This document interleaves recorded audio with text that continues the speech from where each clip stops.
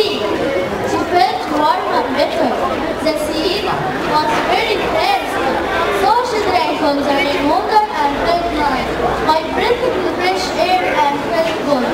Now the seed started growing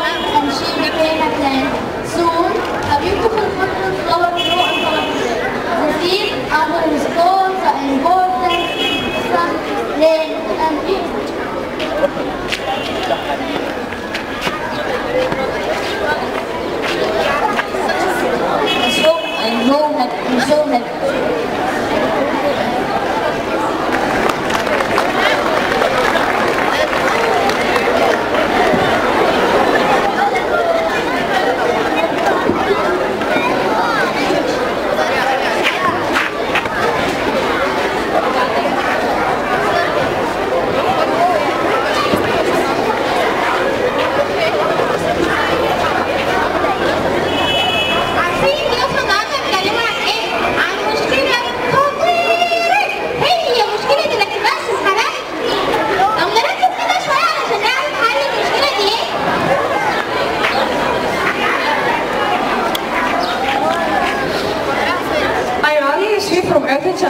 A very good morning to everyone.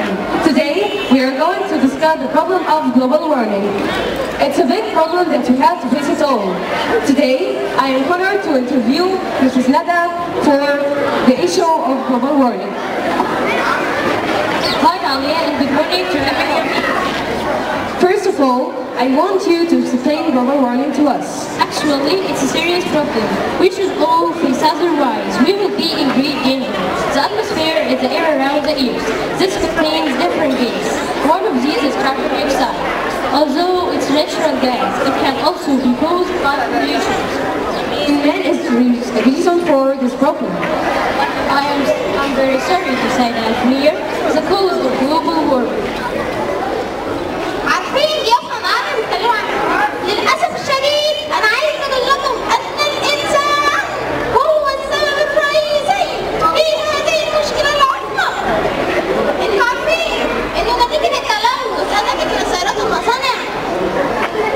Eles sabem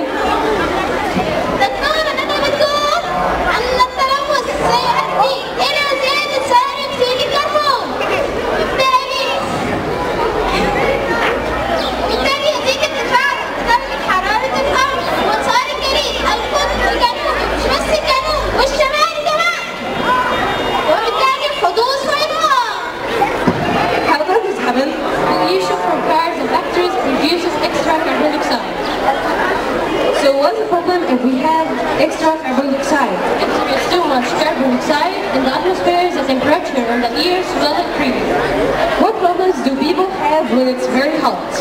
If the earth gets hotter, the ice in the Arctic and Antarctica will melt more quickly. The sea will get higher, and this will cause floods. Dry places become deserts. If these places become deserts, crops won't be able to grow. Thus, it will become very difficult for us to live. So what can we do about this problem? First, we need to plant more trees, because trees produce an extra carbon dioxide. We also need to find the fuels that cause this pollution. Thank you, for your precious time.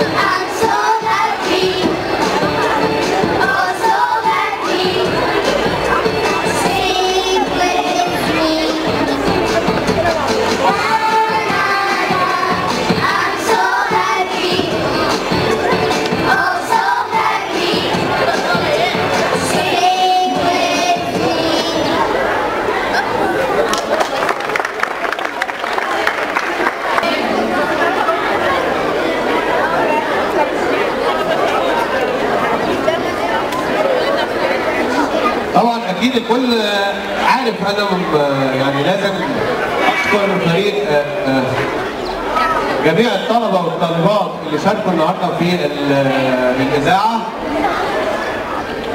تحية كبيرة لهم.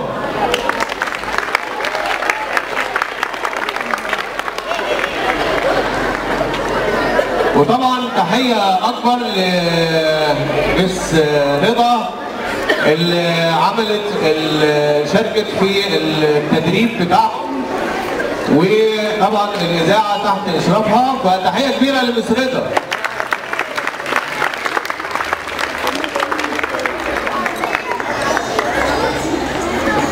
طبعا زي ما إحنا شفنا كده النهارده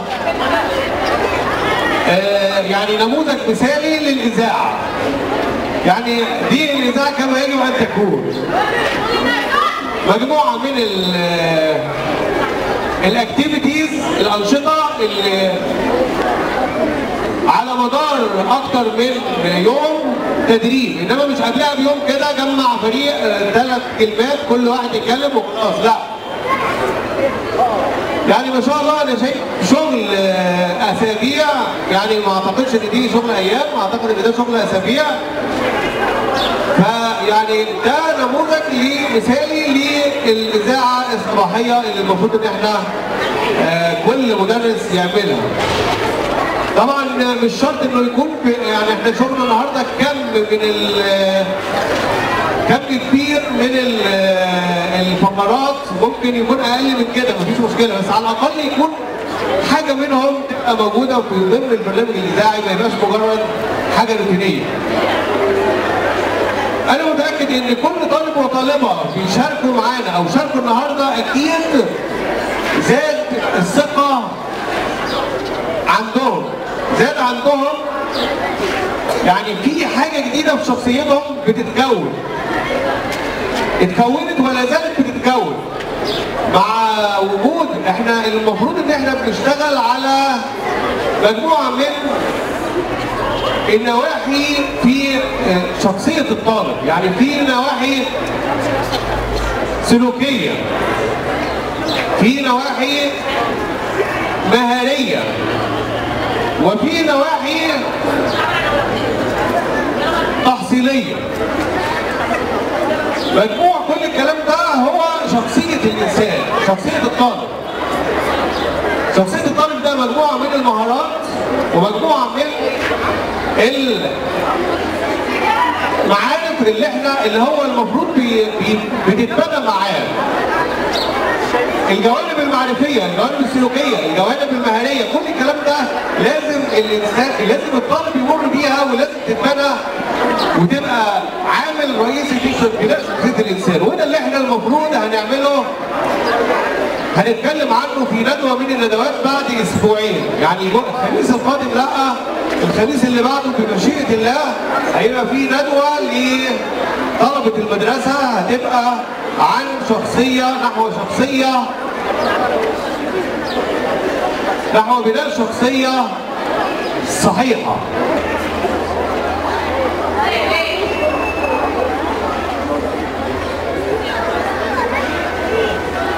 الفترة القادمة هتبقى استعداد في استعداد لعيد الأم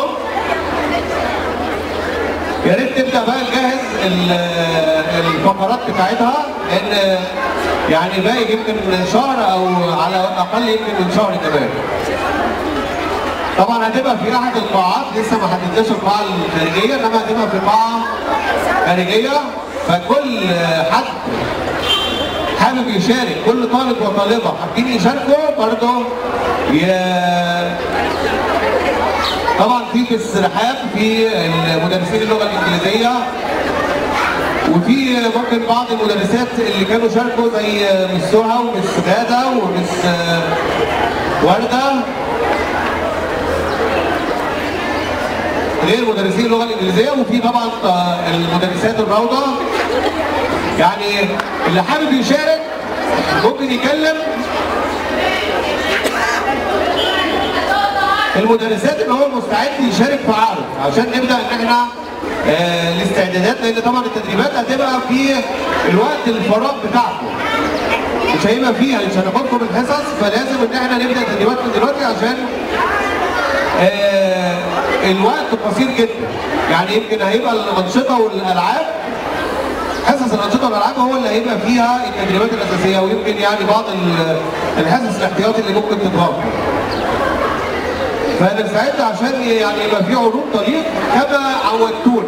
إحنا دايما بنلاقي في عروض مميزة. والحمد لله يعني آه، المدرسات والمدرسين آه، المدرسات مفيش مدرسين معانا بيشاركوا في العروض. مش كده؟ يا مستر محمد عايزين عرض كده خاص بالجوالة وخاص السنة هيبقى عرض واحد كبير. عرض كبير لعدد طلبه كبير ما نبدا تدريب فيه. أنا ما بشوفش أي تدريب خاص بيه. في كشافة وفي شغل كشافة كتير ممكن يتعمل عروض كبيرة من كل فصل أنت ممكن تعمل عرض.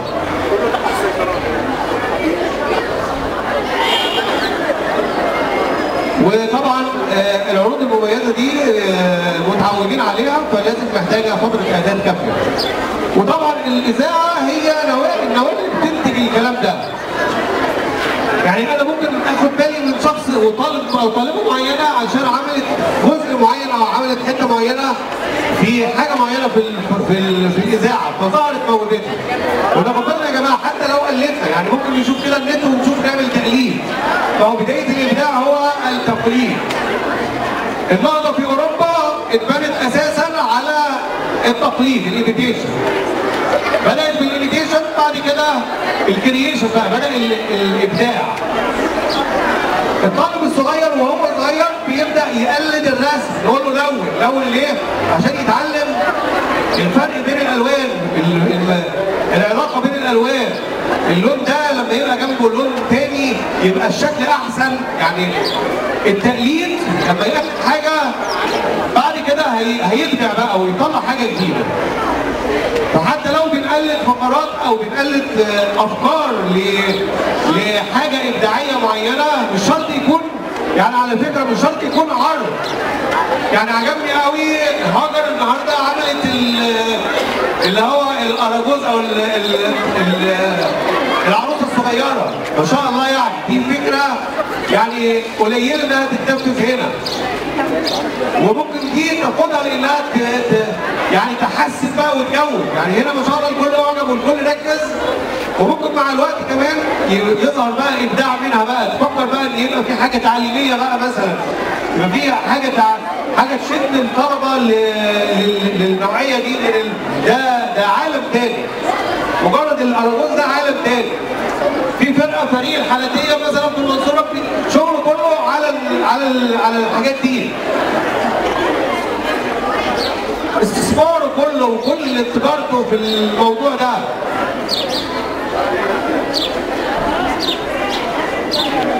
مسرح الهناجر. كل شغله كده يتنقل المسرح بيتنقل بيجيب بينتقل من حتة لحته وبيعمل الكلام ده. ففي مجال كتير للإبداع. لو ركزنا ولو حتى لو قلدنا مفيش مشكلة في التقليد. المهم إن إحنا نطلع بأفكار جديدة.